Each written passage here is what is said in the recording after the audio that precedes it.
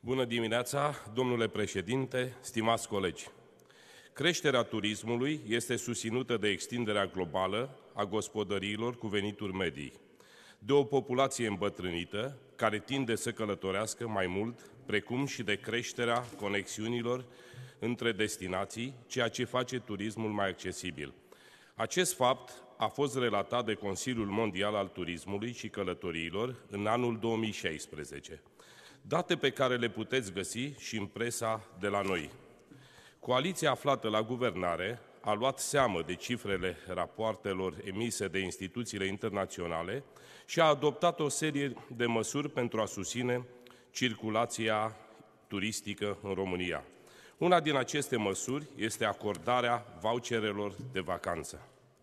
O măsură bună, bine reglementată și accesibilă pentru toți angajații din sistemul bugetar. Voucherele de vacanță vin în sprijinul turismului românesc, iar efectele lor sunt următoarele. 1.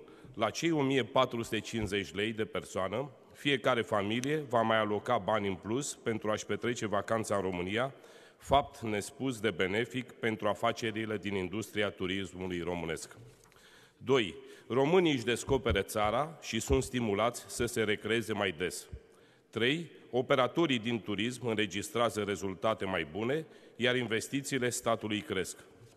4. Cei 1,7 miliarde de lei alocați de Guvernul României sunt investiți în susținerea turismului național în mod transparent și sigur. 5. Vor fi create noi locuri de muncă în acest domeniu.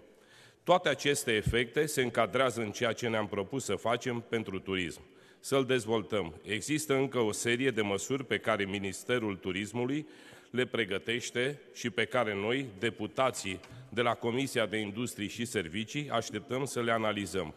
În concluzie, dacă în 2017 am avut o creștere cu 20% a românilor care au ales o destinație turistică autohtonă față de 2016, în acest an, după intrarea în vigoare a voucherelor de vacanță, cifra se va dubla. Florinel Stancu, deputat PSD Dolj. Vă mulțumesc.